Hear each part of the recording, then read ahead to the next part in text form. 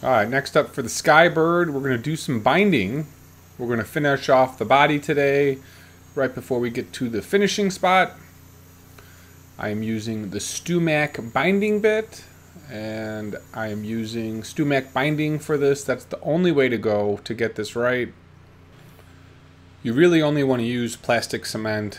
You don't want to use the acetone or lacquer thinner method. I really don't like the way that works. I feel like the binding always comes loose. So always use plastic cement. That's my tip of the day for this video. The StewMac paperback tape is outstanding. There's nothing that's this strong. I always recommend using it. I'm so glad they brought it back. So we'll run the binding all over the body. I bought this plastic cement on Amazon. I think I got four bottles for a pretty decent price. And then I did end up buying that StewMac uh, tape dispenser. Not 100% happy with it, but I bought it. I got my mom a Christmas tape dispenser automatic cutter, which is great. I should have used that. Here we're just trimming the binding to fit that uh, end. So the binding is going to cut off as we get to the neck piece then. Again, this is a odd sized guitar. You can see how wide it is around the shop.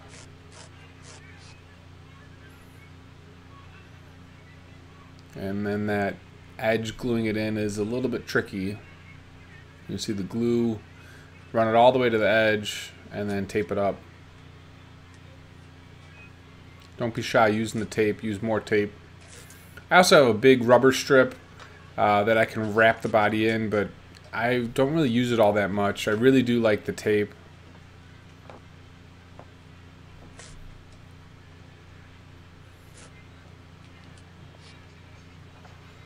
Then we're going to do the same to the top of the headstock. I'm going to cut up the binding before I glue it. It's the only way to do this. So we're going to glue the wings on on the top there and then we'll run the binding along the back side of the headstock.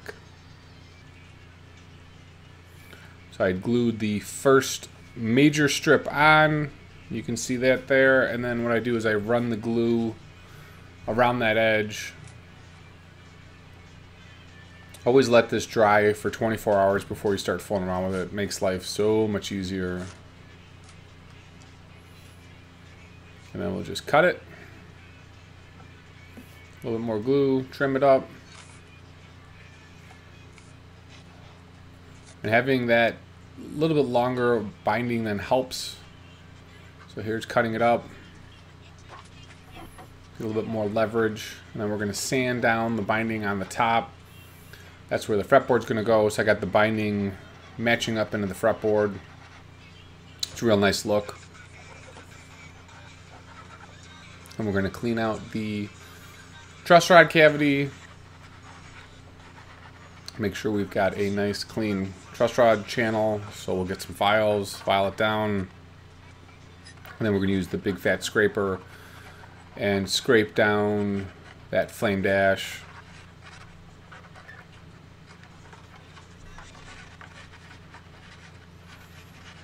A little sanding, a little scraping gets it all perfect. Careful with that file. It gets a little aggressive from StewMac. And then what I've got is a burr that I throw in a drill press or a drill and just cleans out that cavity real nice. Chisel it out slightly, make sure that it works. Got enough room to adjust before you finish it. I've done that too. And then we'll scrape the binding on the top and the sides Again, I'm using that big fat StewMac scraper. Might be one of my favorite tools from them, to be quite honest, for how many different uses I have for it. Here we're going to then cut the belly. And we're actually going to do this by hand. We're not going to take this out to the bandsaw. This doesn't take that long. That is my rubber bandado plane. And another plane to just clean this up. Since this is mahogany, it goes really quick. And then a trick here again today is if you're using the scraper or if you're using those chisels, you got to come back with some sandpaper and sand out where it's not level. So those planes tend to dig out in a couple spots when you're using them. Make sure that you sand them flat. So we got some hide glue for the fretboard. This makes a significant difference. Maybe.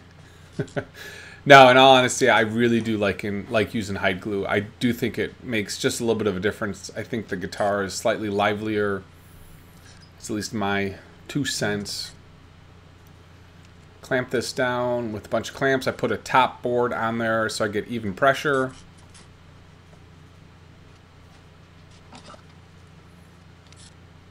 And then throw a couple clamps on the other side as well. Running out of clamps. then scrape the sides. Again, same process. Doing the sides of binding is always my... I don't know, I hate doing it.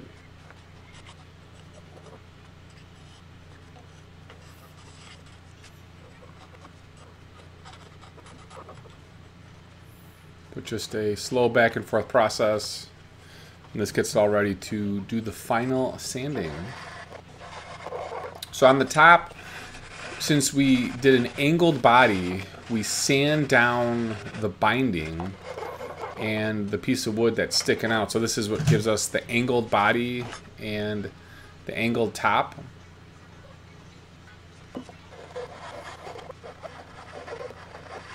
This is the special trick then to get it all level. And we've got the binding. And the body that we make that final adjustment on. That's the only piece that I did not use the um, pin router for outside. So just the piece of paper, sand it, sand it down, we're good. And we'll take this outside and do some more sanding as well. And then everyone's favorite sanding, just keep sanding till you're blue in the face. It's actually midwinter. Full jacket and gloves, you can tell. Don't know how I got stuck with this Craftsman sander, but it's probably time to get myself a new one. Got that Makita in the basement that works really well. This one in the garage. I don't know. I'm doing a lot of rough sanding with this, so...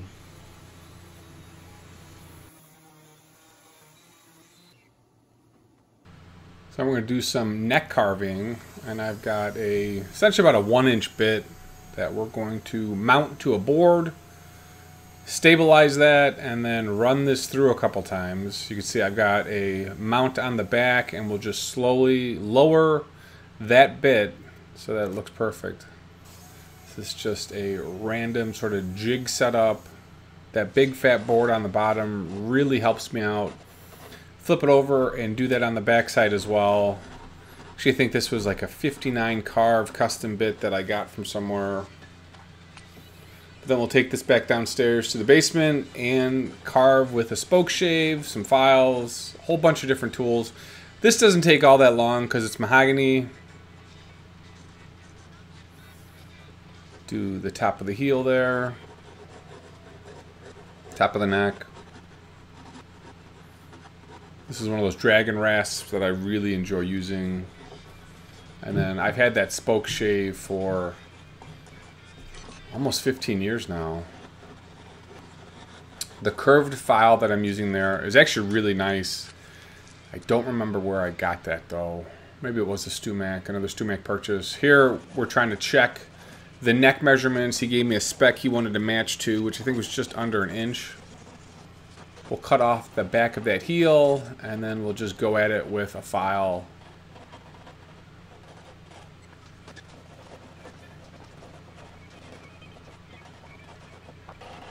Some guys love this process, some guys hate it. I, I don't know. Sometimes I like it, sometimes I don't.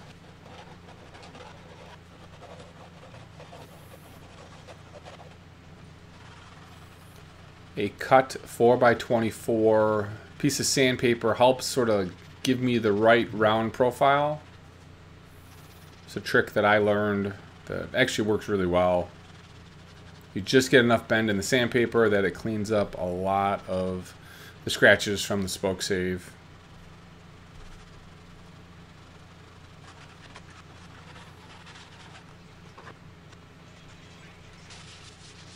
Here is a higher grit. Same process. Creates a little bit of dust. You can see that sandpaper then comes down a little bit further. A little bit better of a curve around that heel. Lots of back and forth. So before we do any of the final finishing, we're going to figure out how the tuners line up, drill those holes, trying to figure out where they sit. And we ended up replacing those buttons with cream buttons, tuning buttons. You can never have enough 16th drill bits. So we'll come back after we've got most of that rough work done, draw out where the neck scale is going to be. So I think it's 24 and 3 quarter. Draw that line, set up a center line here. Draw that out, and then we're going to line up the humbuckers for some TV Jones humbuckers. That template is way off, so we're not using that. So this is a LP template that I've got and we'll just modify this slightly to clamp this down. What's great about having a wood topped table that's made out of plywood is that you can just drill in anywhere that you need to to mount the clamping apparatus that you're trying to do. So that I drill a hole, mount that down, and I can do this really easy. It's really helpful to have this set up that way.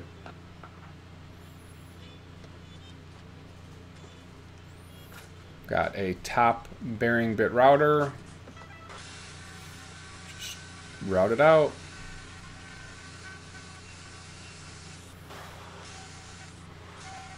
Had to lift it up just slightly off the body because of the neck on the fretboard. And then here we're going to finish up the fretboard by making a N dot template so that we can get this all lined up perfectly. Started making a lot more templates in my last couple of builds. That way I've got them for future builds. So we drilled those out. I don't know where that video went. And then we're going to use some blue epoxy, sky blue epoxy. A little bit of a tint, put some tape on it, drip in the epoxy. Originally we wanted to try and do sort of raindrop shaped, but I did not have that ability given the size of the router bits and everything. Even when I tried to carve it, it wasn't working. So, trick with using epoxy is let it sit, come back with the flame thrower and pop the bubbles, and then use a toothpick to make sure that you've got all the epoxy down in the hole you will find air bubbles where you don't think you have them. So let it dry, come back, let it dry, come back, and use that torch, and it makes a huge difference. We'll then come through and sand them. Always let the epoxy dry for at least four or five days. Don't come after it after that first day. The longer it dries, the harder it gets. And then we will level the fretboard now that it's on the neck and the body. 12 inch radius. Draw some lines on the board to make sure we are sanding it even. Start with 80 grit, move up to 320. You don't really need to go anything higher than that. I have 600. I never really use it. It's not worthwhile. Once you get to 320, you don't have any lines. Clean out the fret slots. Some glue in there and some dust. But now we have a guitar.